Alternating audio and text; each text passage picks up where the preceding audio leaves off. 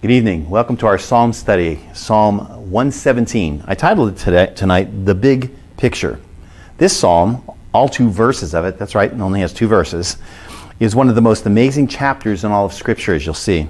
This psalm, when properly understood, shows the immense mind of God, as well as the simplistic, the simplistic level at which he reaches mankind. Mankind is caught today between what I believe are the creative genius of God's big picture and the small picture we have we call it the uh, he has shown us the minutest creation especially with all of our technology. We're now developing that as i'll show you. And then his infinite creation both unfathomable to us between what i like to call the micro which is inner space and the macro which is outer space. Let's look at the amazing micro world of god's creative genius. Speculation was finally confirmed in the 19th century when the chemist John Dalton carried out a series of sophisticated experiments on gases the average diameter of an atom, smallest thing that, at that point that they thought they knew, measured about 50 nanocentimeters, a millionth of a grain of sand. The atom was then the smallest thing known to man.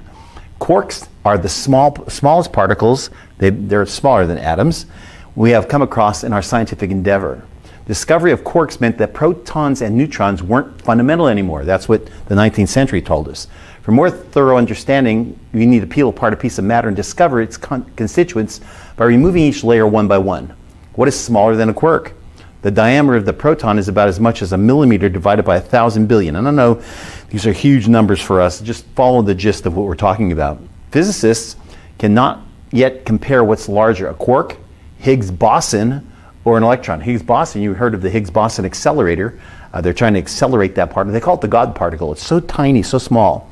So we can say that an electron is lighter than a quark, quark but we cannot say that it's smaller. So it kind of gets confusing. So I'm going to give you just a little bit of, a, of an understanding of it. So there's your atom. Look how large the atom is. And now look at a quark.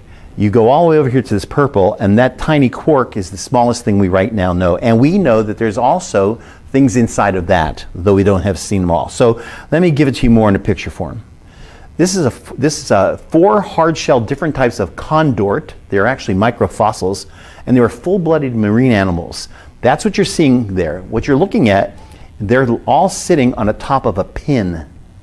And if you can see that, and there's room for others. So it's pretty amazing. The head of a pin they're on, and there's still room to spare. Let me give you a little bit more. This is the Microradiolarian. It's a fossilized shell of an ocean animal that's now extinct. It lived off the coast of Antarctica. God created these animals as climate and water regulators when the earth was one landmass, Pangea. This one is magnified 1,392 times. I can easily place 5,000 of these creatures on my fingernail. Uh, we would never know they existed without the scanning electron microscope. So what else is in the exists in the micro world that we can't see? Remember, this is all God's creation. So when I'm talking about seeing the big picture, we're talking about God is an infinite creator, and so much so that we don't even know down to the smaller micro scale what He's actually created. So what's also amazing to me is everything, and I mean everything, both in micro and macro space, is rotating on somewhat circular patterns. Atoms rotate, quarks rotate our solar system rotates. Planets rotate. Our universe is, I believe, some of the some of the uh, some of the, uh, the biggest stars rotate. So um, this was this is the electron micro. This excuse me. This is the the uh, accelerator that's trying to take the smallest of particles, accelerate it close to the speed of light, and smash it so they can see what will come out of it. One of the fears here is they can actually create a black hole which will actually suck everything into it. So there's so much. And what's my point? Not to, not to get us to understand all these things. My point is that God made all these things. The infinite power of God made these things that we can't even get to the bottom of, even in the micros- microscopic uh, era of it. So let's go to the mac- macro. The observable universe is 93 billion light years in diameter. Some scientists believe its true size is even scarier than that. By using the Bayes model averaging, scientists estimated that the universe is at least 250 times larger than the observable universe, or at least 7 trillion light years in diameter. What that means is if you wanted to go across the universe, it would take you 7 trillion years traveling at 186 miles per second. This is unfathomable. None of our minds can even be, wrapped around that. By the way, in our own solar system, the Milky Way, that's where we are. It's a tiny little speck. And that's talking, excuse me, in, our, in, in the Milky Way galaxy, our solar system is right here at one of the spiral ends. Very tiny. That's our sun and all of our planets that is around it. So it's an immense thing. If we can get a little closer to see some of the things, this is uh, 350 million miles away. This is the Martian crater surface. This is, Mars, this is Mars. So at 350 million miles away, just to give you a little relative understanding, a car driving 100 miles per hour nonstop would take 259 years to reach Mars. and this is the smallest moon in the solar system. Its true color, this is Io, and it's from Jupiter. These are, this is from the Hubble photography. Most distant object takes 4 billion light years to reach us. That means its light that we see is 4 billion years old. So somebody asked me, well, how is that? If we have creation, it's only 10,000 years old. Well, God made those stars. He made everything aged. He made Adam and Eve aged. They weren't babies.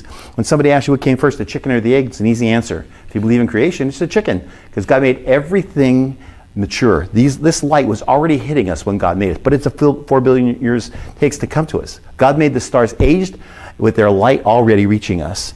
So this is a little look at some of our some of the other galaxies that are out there. Again, we're talking about a Milky Way galaxy, spiral, Andromeda galaxy. This is the star Eta. It's about to explode, by the way. It's 100 times larger than our sun and it's in deep space. And this they just found. They call it the Eye of God. It is a nebula that's way, way out there. So, what's my purpose today? Well, my purpose is to tell you that we're stuck or caught or created in between a micro world and a macro world. It's what I call inner space. Before I get there, let me tell you about the infinite. If I had a laser and I pointed up at a night sky tonight, it would travel 186 miles per second, speed of light. It would take 1.5 seconds to reach the moon. It would take 5 to 1, 5.1 minutes to reach Mercury, 2.3 minutes to reach Venus, 4.2 minutes to reach Mars, and 34.6 minutes to reach Jupiter. It would take 1 hour and 11, 11.4 minutes to reach Saturn, 1 hour and 53 minutes to reach Uranus, 2 hours and 9 minutes to reach Neptune, and 3 hours and 32 minutes to reach Pluto, which was just, just brought down from a planet. While in contrast, driving at 100 miles an hour would take us 259 years, as I told you, driving, driving time to reach Mars. So we are caught and created in what's called inner space. This is where God has focused all of his attention. Even though he's made the expanses of the universe and the minutest things in the microverse, this is where we are. This is what God concentrates on. Jerusalem, by the way, in Israel, is the center of that. It's actually the center of three continents Africa, Europe, and Asia. That's a very old map that I'm showing you. And it's also the center of the, uh, of the, of the land space in, in the world. This is a a globe that shows the sun at the other side. It has a little story of it, how this is in Israel, how, how Israel is the center of the world. And if you really looked at it, let's get a little bit further. The elevation of Israel is like this, if you can see my hand. We have Mount Hermon up by the Golan, past the Golan is up here. The Dead Sea is down here. Mount Hermon is 6,627 feet above sea level, almost a mile and a quarter. And then you have below sea level, the lowest place on earth, 1,300 feet below sea level is the Dead Sea. So actually, Israel is built almost in a micro and a macro. And right center of that, in the middle space again, is Jerusalem at 2,600 feet above sea level. So God has some type of amazing plan uh, that He really has been showing us. Spiritually and physically, Israel is the center of our uh, center of, of the world. So why? What does it all mean? And why and how does Psalm 117 relate to it? Well, here it is. Hidden deep in the, in the placement of this psalm is a sophisticated numbering phenomenon that only God could have assigned. And I warn you, it's too precise to be coincidental. I call it the middle connection. Psalm 117, here's some facts. It is the shortest chapter in the Bible. It is the exact middle chapter of the Bible. 594 chapters are before it, 594 chapters are after it. There are 39 books in the Old Testament, 27 in the New Testament. When the Psalms were compiled, no one knew this would end up in the exact middle of the Bible, the shortest psalm with two verses. Does one verse tell us of the preceding 594 chapters, the other verse of the remaining 594 chapters? Furthermore, there are exactly 1,189 chapters in the Bible, a total of 1,188 chapters apart from middle chapter. Now look at the Psalm 118.8. That is the exact middle verse of the Bible. Now consider this Psalm 117, and you'll see 118.8 next week. Psalm 117 is the shortest chapter, middle chapter. 118 contains the middle verse of the Bible, and Psalm 119 is the longest chapter of the Bible. That is definitely arranged by God. So, is God trying to tell us something in these three Psalms, Psalm 117, 118, and 119? Is there more here than meets the eye or ear? These three Psalms are a remarkable product of divine design. The three Psalms were purposely planned to come together for a definite reason. The reason was that sooner or later, people like us would unravel the numbers and see yet again a godly design, just like the micro and the macro universes. Perhaps that would spark our faith to trust Him even more, because the Bible says faith comes by hearing, and hearing by the Word of God. So, in order to praise Him even louder and to follow Him more closely, Psalm 117 serves as an illustration of divine design and consequently proof of the divine inspiration that guided not only the writer of the Psalms, but watch this, thousands of years later, is guiding you and guiding me as we listen to these truths. I've titled this psalm tonight, Seeing the Big Picture. My outline is simple. Can anyone guess how many points it'll have? That's right, two, based on the two verses. A call to worship, verse 1, and a call to wonder, verse 2. Let's look at the call to worship. It says, Oh, praise the Lord, all ye nations, praise him, all ye people. Pretty simple verse. Isn't it exciting to know that God doesn't require long prayers? That's a prayer. The issue is never the length of words or how many O's you can pronounce God with. I've heard so many people pray and they seem to be masterful prayers, and I'm not making fun of anyone, but God doesn't require long prayers. People think He does. He does not. He doesn't require you to use a, a different voice. That's not what prayer is about. Look at Matthew chapter 6, verse 1 to 7. It says, Be careful not to practice your righteousness in front of others, to be seen of them. If you do, you will have no reward from your Father in heaven. So when you give the needy, do not give to the needy, do not announce it with trumpets as the hypocrites do in the synagogues and on the streets, to be honored by others. Truly I tell you, they have received their reward in full. But when you give to the needy, right hand is doing, so that your giving may be in secret. Then your Father who sees what is done in secret will reward you. And when you pray, here it is, do not be like the hypocrites for they love to pray, standing in the synagogues and on the street corners, to be seen, and let me, let me also adjust that to, and, and heard by others. Truly, I tell you, they have received their full reward. But when you pray, go to your room, close your door, pray to your Father who is unseen. Then your Father who sees what is done in secret will. Re- and when you pray, don't keep on babbling like pagans, for they think they'll be heard because of their many words. So, this tonight is going to tell you how to praise God, how to pray to God. Jesus is teaching on doing religious things to be seen by, by men. The best prayers you'll ever pray are spontaneous and, pardon what I, my, my language, but gut prayers, right from your gut. Deep down, true rooted prayers. We can get into spiritual vocabulary rambling so easily. Sometimes we pray the same words over and over again. It's a vain rambling. Oh God, I pray you touch the infirmities of such and such. Oh Lord, we humbly worship you and Lord, we, for your extended hand of mercy and blessing, all those words, that's fine. But if we're in ruts like that, we're not really praying spontaneously. Or what I call lay me down to sleeper prayers. Nothing wrong with the prayer, but it becomes meaningless by repetition. The more you repeat it, the less it means. Here's my version of, lay, oh Lord, lay me down to sleep. Now I lay me down to sleep. I pray the Lord my soul to keep. If I die before I wake, I pray the Lord my soul to take. And if I live another day, I pray the Lord thy God to guide my way. Amen. Maybe just adding a couple things or making it changed. I remember one day on a scaffold in a home that I owned in Florida, about 7 o'clock in the morning, when I heard a jogger on the street who didn't think anyone was there. I was high up.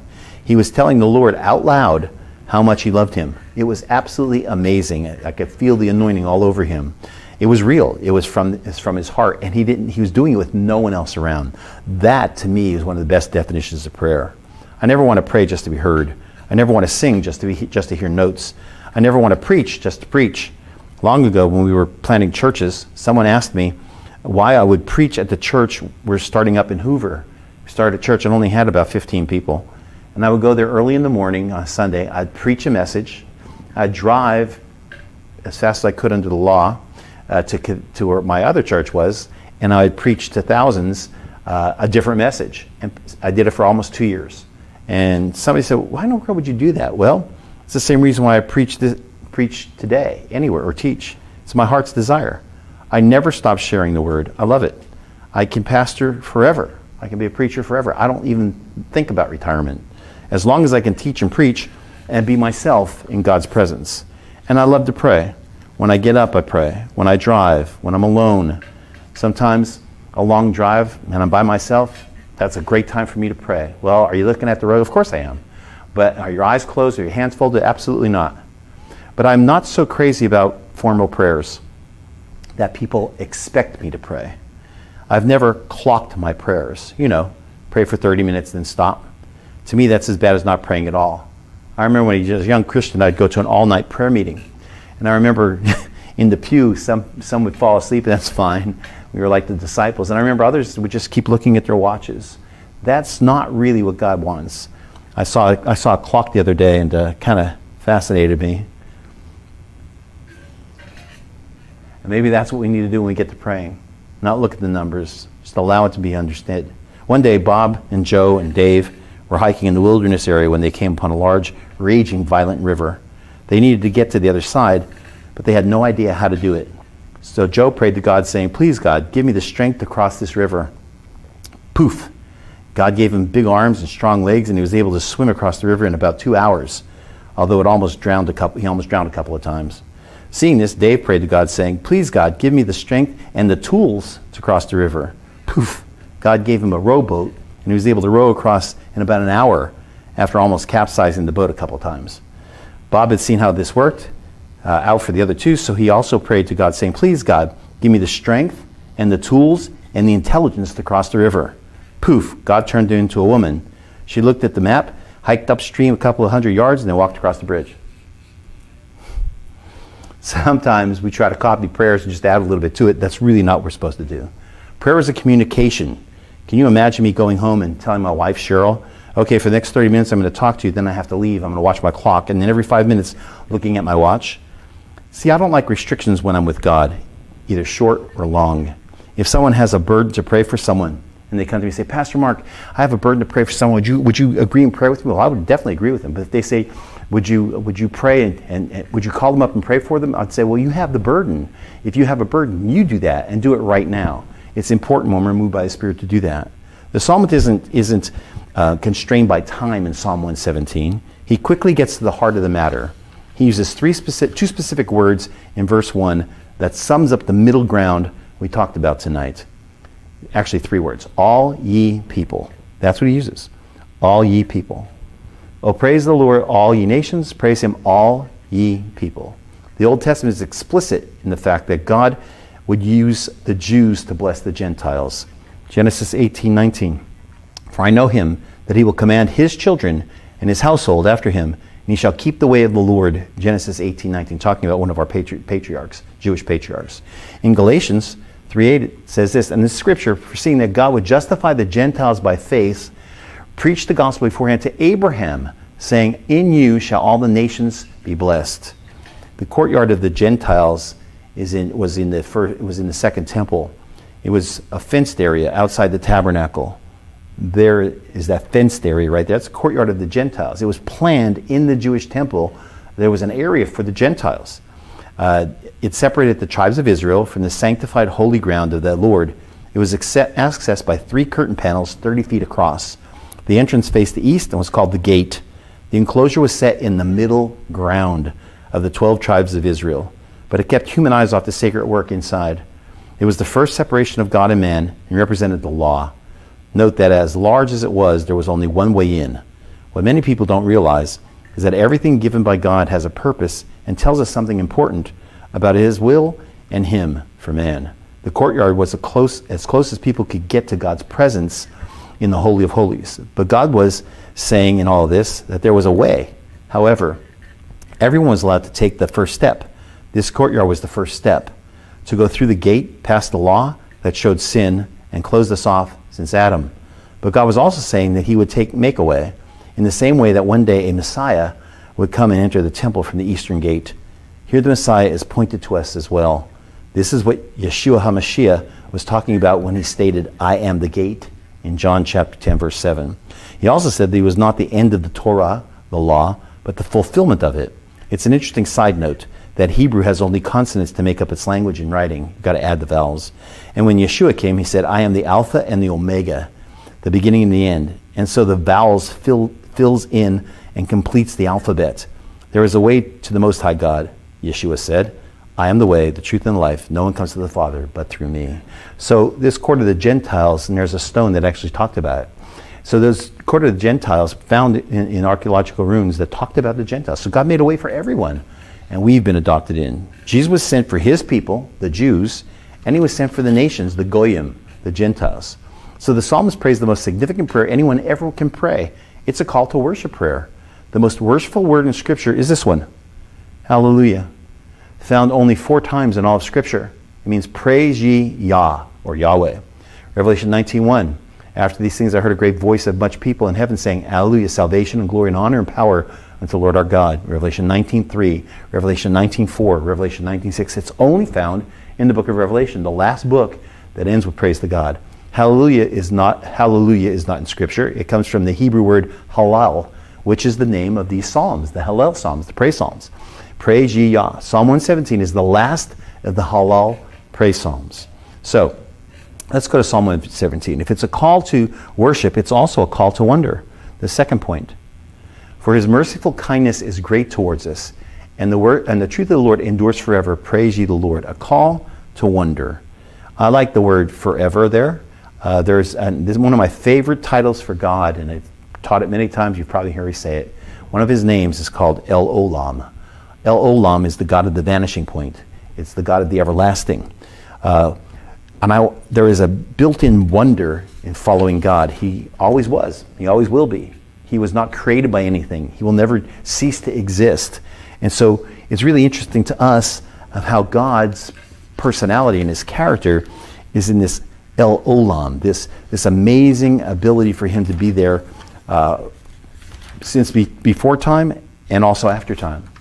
And so we know that this is that a wonder to us. It's a mystery sometimes that we're not really understanding. Uh, I have a little quote that I made. Worship is what we give God. Wonder is what God returns to us. When we worship Him, the wonder comes back to us. So the vanishing point can be shown like this. It's a point in the distance. You know those, those railroad lines are uh, parallel to each other, but in the distance it looks like it goes off forever. That's a train. You look into the distance, it goes off forever. It gives you the understanding of the foreverness. There again. And that one's a pretty interesting one also. Just just parallel lines that go off in the distance. This is exact. God is true. He stays the same, but He's forever in, in the distance past and in the distance future. And Habakkuk tells us this Look among the nations and see, wonder and be astounded, for I am doing a work in your days that you would not believe if I told. Speaking, God speaking. So, God is a wonder. Whenever we miss the wonder of God, we're going to miss the worship of God. There are certain things about God that we don't understand. When I was, when I was in grade school, they taught us about the seven wonders of the ancient world. And uh, the statue of Zeus, the temple of Artemis, the uh, mausoleum at Herculanesus, uh, we know the Colossus of Rhodes, the Lighthouse of Alexandria, pyramids of Egypt, and the Hanging Gardens of Babylon. Let me show you some of these. And let me tell you a little bit about them. First off, that's the Great Pyramids of Giza. The Great Pyramid of Khufu, or Cheops, is the oldest and largest of them all. It was built in 2600 BC. It took 27 years to complete. It was the tallest man made structure in the world for 3,800 years, made up of 2.3 million large blocks and weighing a total of 6 million tons. We still don't know how they did that. I have my ideas, but that's another study. Then we have the Hanging Gardens of Babylon. King Nebuchadnezzar II built them around 605 BC for his Median wife. She was from Media, Queen Amytis, because she missed the green hills and the valleys of her homeland, Media. They were built alongside the grand palace of Babylon. Then we have, oh, let's go back the other way. Then we have the lighthouses of Alexandria built by Ptolemy II, king of Egypt, 280 BC, 330 feet high. For centuries, it was the tallest man made structure in the world. Three earthquakes took it down from 956 AD to 1323 AD. This is the Temple of Diana at Ephesus. Some of you that are going to Greece with us will see the remnants of this, the remaining part of it. Built around 550 BC. It took 10 years to build. It was destroyed by uh, Herostratus in 356 BC as an act of arson. It was rebuilt by the Ephesians in 326 BC. All marble, 377 feet long, 151 feet wide, and 40 feet high. Think about these structures in the ancient world. And then you have the statue of Zeus at Olympia. Erected in the temple of Zeus at Olympia, the giant seated statue was made with ivory plates and gold panels on a wooden frame, 600 BC. His throne was ornamental and it was, it was decorated with ebony, ivory, gold, and precious stones. It was destroyed around 500 BC. And then you have this the mausoleum at Halicarnassus. It was a tomb built between 353 and 350 BC. We actually get our word mausoleum from this. statue of Caria in the western, in the satrap of Caria in western Persia, Persian Empire, built it for Mausolus and his sister's wife, Artemisia II. 148 feet high, it was destroyed by the successive earthquakes from 1200 to 1500 AD. And this one is really an amazing one. The Colossus of Rhodes straddled two islands in the Aegean, uh, or also called the Colossus of the Sun. It was a statue of the Greek sun god, to the Greek sun god Helios, built in 260 BC, 108 feet high. It was the size of the Statue of Liberty. The tallest statue in the ancient world. It spanned, as I said, two islands, destroyed by an earthquake in 226 BC. Why am I telling you all this? Habakkuk, in Habakkuk, as well as other places, God promises to give us wonders. Not these types of wonders, not man made wonders, but spiritual, supernatural wonders. Psalm 105 5 says, Remember marvelous works that he has done, his wonders, and the judgment of his mouth. We're not apt to be showing pictures of what God has done, but you're a wonder. I'm a wonder. Think about the miracles God has done for you. It's much better than building a 256 foot statue that spans two harbors. That may make your eyes pop a little bit, but the wonders that God does are way beyond that. We see this in Psalm 77:14. Ask for your miracle. You are God who performs miracles. You display your power among the people. That is a statement. You are a God who performs wonders. In the New Testament, the word wonder is the word teros, from the word terra, as in terra firma, the earth, literally, and this is the point tonight God moving the earth for his people. When I think of the wonders of God, think about what's just beyond the realm of the visible sight. What's around the bend? What's beyond the vanishing point? I think of how God has stretched out promises for you and for me. I think about your life and my life tonight. I can look back in mine and see the wonders of God. Man, if it was a book, I could, I could give you the seven wonders of Mark Correll, and it's way beyond seven. And I'm sure you could do the same. They're phenomenal because they're supernatural and it's definitely by God's hand. This is what the psalmist was talking about. He was talking about praising God for, for his worshiping for his wonders. That's exactly what he's talking about. Two verses, middle of the Bible. Praise God, worship him for his wonders. It says everything that you ever need and I ever need to know. 1 Corinthians chapter 2. But as it is written, eyes not seen, nor ear heard, neither have entered into the heart of man the things which God has prepared for them that love him. One day, you and I will see and hear things that man can only, can only try to imagine. It's going to be way beyond any wonder you could possibly imagine. Heaven is going to be something that will blow you away. It'll blow me away. Paul said when he saw it, he wanted to die. For me to live is Christ, to die is gain. He was caught up to the third heaven, the Bible says. Let's just contemplate that verse tonight. I, it is written, Eye has not seen, nor ear heard, neither has entered into the heart of man the things which God has prepared for them that love him. Do you love Him tonight? That means that there's a wonder, many wonders waiting for you. So you have excited expectations. What does it mean for you tonight? Well, let God speak to you. Let Him tell you what it means. What about tomorrow? What about the rest of your life? So tonight, I want us to just close in prayer, but I want you to really pray. You don't have to follow me in prayer. You can pray your own prayer. It doesn't have to be long. It can be very short, but it can be talking about God's about worshiping God, praising Him, and about His wonders. So let's just pray tonight. Father, I thank you tonight. I thank you, Lord God, for the fact that you give us so many wonders, Lord, supernatural wonders. You are the El Olam, beginning and the end. And Lord, I know you're the beginning and the end of my life.